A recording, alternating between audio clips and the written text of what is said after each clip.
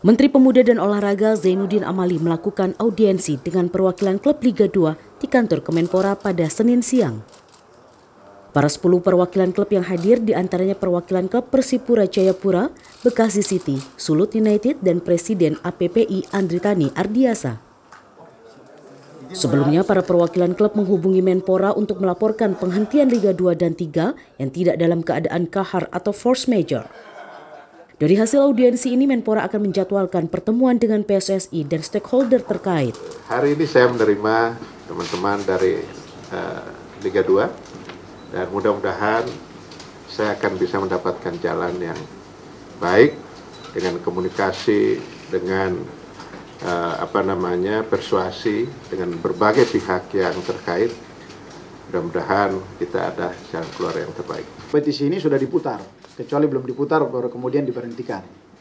Karena kompetisi ini sudah diputar dan putaran pertama itu mungkin sisa 2 sampai dengan tiga pertandingan lagi akan selesai kemudian kita masuk pada putaran kedua.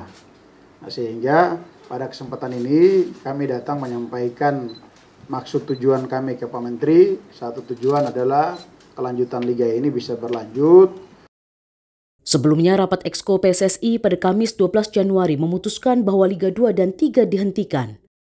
Namun, para perwakilan klub menilai keputusan ini akan berimbas pada matinya promosi degradasi di Liga Sepak Bola dalam negeri.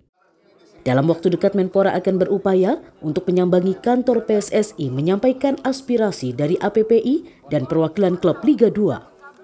Namun Menpora masih bungkam terkait waktu yang tepat untuk duduk bersama dengan Federasi Sepak Bola Tanah Air. Tim Liputan Kompas TV